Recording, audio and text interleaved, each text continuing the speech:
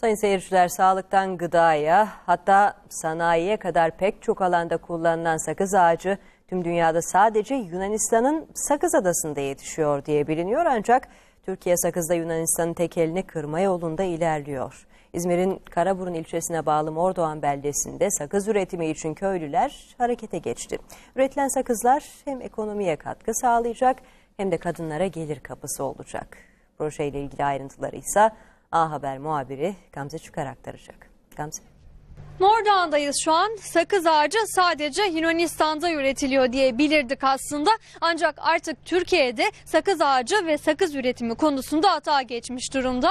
Sakız ağaçları altın damlayan ağaçlar olarak da biliniyor. Çünkü bu sakızlar hem çiğnenebiliyor, çiğnenmesinin dışında en önemli faktörü de çok verimli olması, ekonomiye de önemli katkılarda bulunması. Zira Yunanistan Sakız Adası'ndaki ürettiği bu sakızlarla milyarlar kazanıyor. Türkiye'de önemli bir projeyle bu atağa geçmiş durumda. Siz proje sahibisiniz efendim. Ee, öncelikle sakız üretimi, sakız ağacı üretimi kolay mı? Bundan bahsedelim. Sakız ağacı üretimi e, fidan olarak yetiştirmek gerçekten zor. Çok o, köklenmesi zor. Fakat köklendikten sonra da bakımı, üretimi çok kolaylaşıyor. 3 yıl baktıktan sonra bir daha da bakım istemiyor. O su istemiyor ve kendi suyunu buluyor. Yazın, e, kışın yağan yağmurla yazın ihtiyacı olan suyu e, toplamaya başlıyor o, sakız ağacı. Sakız çok önemli diyoruz. Altın damlayan sakız ve sizin projeniz de çok önemli. Diyorsunuz ki sakız ağaçları ağladıkça, sakız verdikçe e, kadınlar para kazanacak, maddi bir kazanç elde edecek dedik. Neden sakız bu kadar önemli? Sakız şu andaki e, bakarsak dünyada e, Sakız Adası tek elinde e, Sak- Sakız Adası'nın yaklaşık verime göre 180 ile 300 ton arasında bir sakız üretiyorlar ve e, şey olarak bakarsak milyarlarca dolar buradan katma değer elde ediyorlar. Esasında ana yurdu olan bizim Karaburun Yarımadası'nda bu oradaki yaşayan insanların hakkı olan e, şeyler yurda bu o, ana yurda burada. Bu nedenle biz bu o, projeyle kadınlara yönelik, buradaki yaşayan kadınlara yönelik e, projeyi gerçekleştirip her kadına 10 tane sakız ağacıyla 10 bin adet sakız fidanı üreteceğiz. Artı bunun e, sadece e, bu bölgeyle şey kalmayacak. Türkiye'nin ihtiyacı olan sakızın da ödenen paranın Türkiye'de kendi köylümüze, kendi çiftçimize, kendi üreticimize kalacak. Bu- Buradan da Türkiye'ye büyük bir ekonomi fayda sağlayacak. Sakız ağacının öneminden bahsettik. Peki bir sakız ağacından ne kadar sakız üretimi sağlanıyor? Bir sakız ağacından verime e, verimi şu şekilde gelişiyor. 350 gramla 1 kilo arasında sakız elde ediyoruz. O da hava şartlarına, bakıma, toprağın yapısına göre elde edebiliyoruz. Bugünkü bir kilo sakızı elde ettiğimiz zaman çok ciddi bir parayla karşı karşıyayız.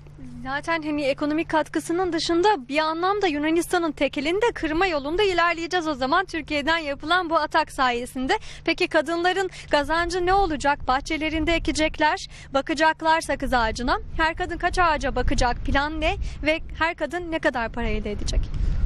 Şu anda bizim hedeflediğimiz bin kadına 10 bin sakız ağacı.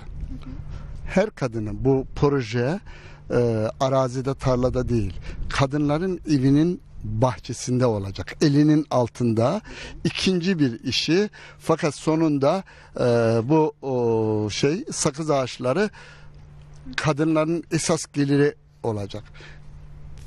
Büyük fotoğrafı küçük bir e, kareden bakalım. Şöyle ki bir kadına 10 tane sakız ağacı verdiğimiz takdirde 5. yıldan itibaren küçük miktarda alacaklar. 10 yıl sonra bu kadının eline 5000 ila 10.000 TL bir para elde edecek. İlk yatırımımız çok her kadın için 1500 lira gibi bir e, yatırımla buna başlayacağız ama 10. yıldan sonra bu kadın 10 bin lira gibi her sene ona e, şey gelecek. Yalnız sadece o kadına e, bu sakızdan elde ettiği girdiğiyle kalmayacak. Bunun aile içerisindeki yansıması, komşularının etrafındaki yansıması, toplum içerisindeki onun geri, bunun yansıması çok ciddi bir e, getiri elde edecek. Bir anlamda her kadın iş kadını olmuş olacak. Çünkü Kesinlikle. Yunanistan çok iyi bir finansman sağlıyor ve tek tek artık dünyada sadece Yunanistan üretiyor demiştik. E, aslında e, özüne baktığımızda bir yandan şu elinizdeki sakızları da göstermek istiyorum. Her şey her yerde kullanılıyor. Hangi alanlarda kullanılıyor? Sanayide de çok önemli değil mi? Sanayide kullanılıyor, yiyecek, içecek, gıdada kullanılıyor, kozmetikte kullanılıyor, ilaç sanayinde kullanılıyor, kaplama ve izolasyonda kullanılıyor. Ee, çok amaçlı e, yerde kullanılıyor ve e, şu anda alıcısı hazır, pazarı hazır ve e, yetmiyor. Bir de Yunanistan'daki o e, sakızların yanmasıyla çok daha büyük bir e, önem kazandı.